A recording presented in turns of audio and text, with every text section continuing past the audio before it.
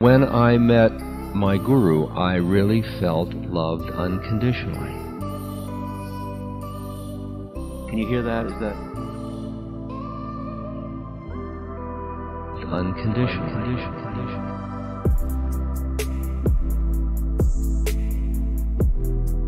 Can you hear that? Is that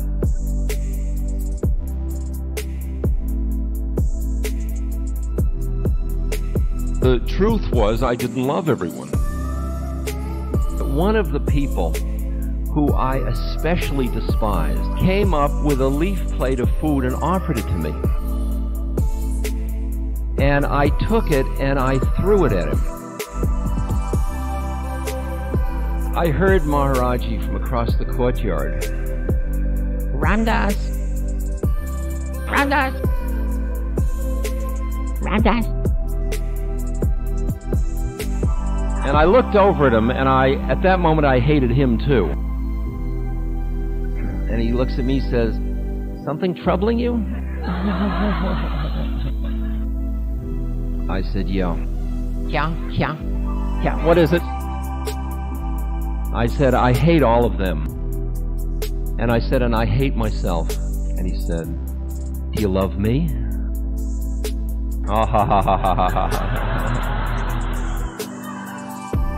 And I looked at him, and it just fell apart. I opened and I started to sob, absolutely sob.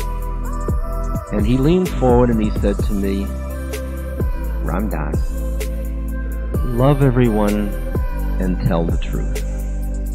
Who I thought I was was somebody whose truth was that they didn't love everyone.